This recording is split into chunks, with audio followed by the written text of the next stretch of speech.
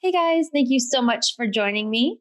My name is Jennifer Franklin, and I help entrepreneurs get their websites created and launched quickly without stressing out over design or tech.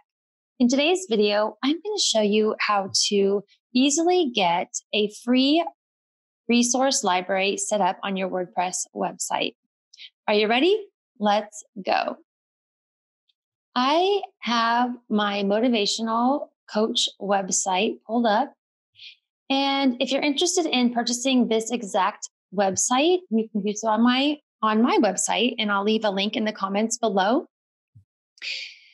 But I want to show you today how to create a free resource library to use to generate more opt-ins on your website in order to grow your list so that you can nurture your audience over time and provide real value in the form of um, videos or worksheets, checklists.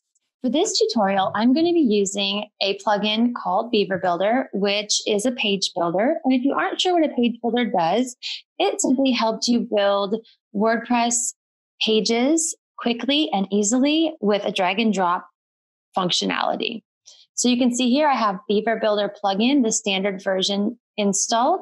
That is perfect. So now what we have to do is we're going to go up to the top here where it says new, and we're going to create a new page. This is going to be the page for our resource library. So we can call it, um, actually, we can just name it that resource li- library. So we'll give it a title, we'll call it resource library. And what happens when we publish that page is a unique URL is created. Um, and when I show view page, it should be resource dash library. So you'll see how that works. Okay, so this is our resource library page. It looks really boring. The first thing we want to do is we're going to want to make this um, password protected. So I'm going to head back to edit page. And over on the right hand side, you'll see where it says status and visibility. It says visibility is set to public. We're going to click on that button and we're going to set to password protected. And I'm going to make a secure password. And for now, I'm just going to say secret. That'll be our password. You can think of something unique for your page. And then um, it'll still be there when you go back. So you don't have to necessarily write it down. So we'll save that. And then one thing else I wanted to check real quick is our content layout. I know the content for this website is set to box, content box um, field. So I want to go to full width and stretched. And I'm going to update that. I don't really need a title, and I'm going to update that.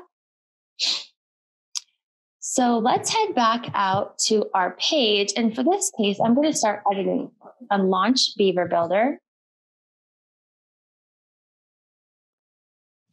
Now you'll notice that when we get back out to the front, the content is password protected. To view it, please enter your password below. In our password, enter.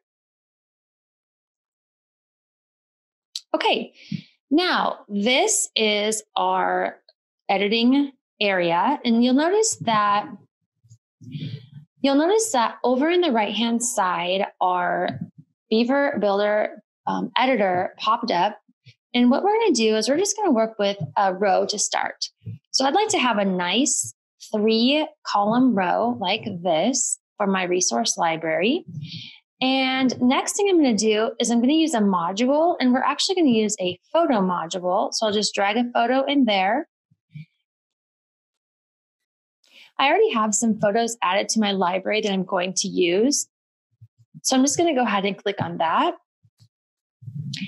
And these are nice sized 370 pixels by 550 pixels high.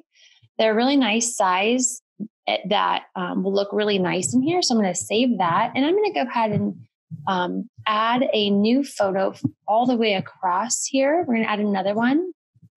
We'll add the next one and we'll hit save.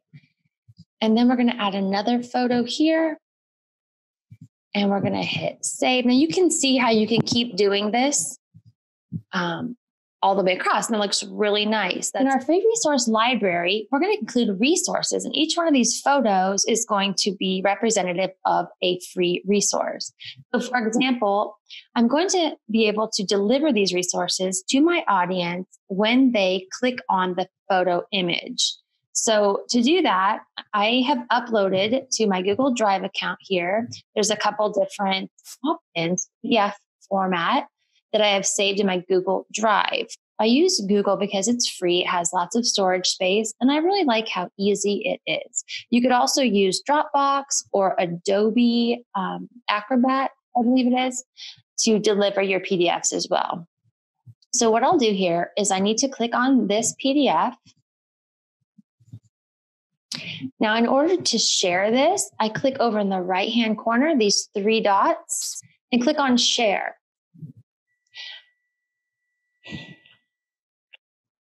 Next, I can I want to share it with just anyone can view. Other options are edit comment. I just want them to view it. So I'm going to copy the view link. Now that I have that link copied, I'm going to go back to my library. I'll click on this photo. I'm going to scroll down and for the link type, I'm going to change that to URL and I'm going to put in the link to my drive. We'll have it open in a new window with a no follow and save. So that's really it. Let's go up to done and publish.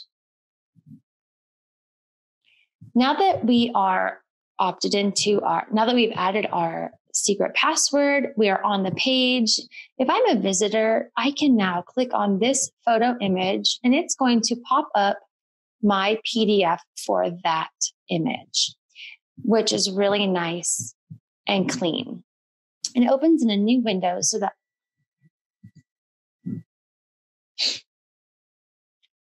All right, guys, that's it.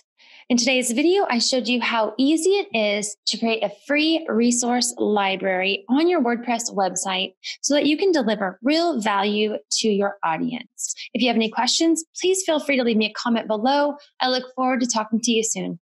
Chat soon. Bye. Thank you so much for joining me today, where I showed you how to create a free resource library on your WordPress website. I hope you found this video useful Leave me a comment below if you have any questions, and we'll chat soon. Bye. Hey guys, my name is Jennifer Franklin, and I want to welcome you to my YouTube channel. Each week, I'll bring you a brand new video, so be sure to hit that subscribe button and leave me a comment below. See you later.